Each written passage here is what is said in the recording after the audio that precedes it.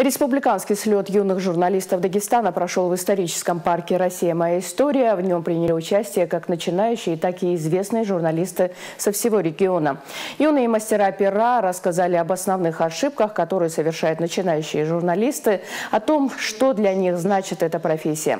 Уже после победителей детских республиканских конкурсов «Юнкор года» однажды в школе «Не болей растения» наградили дипломами и грамотами.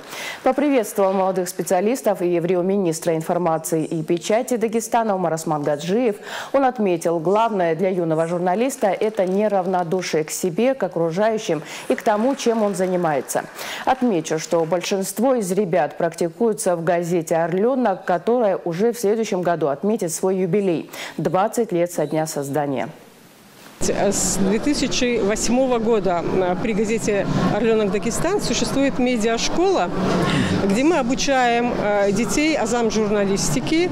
Э, в основном в нашу газету «Орленок» пишут старшеклассники, ну, 8, 9, 10, 11 классы. И вот они проходят обучение в медиашколе.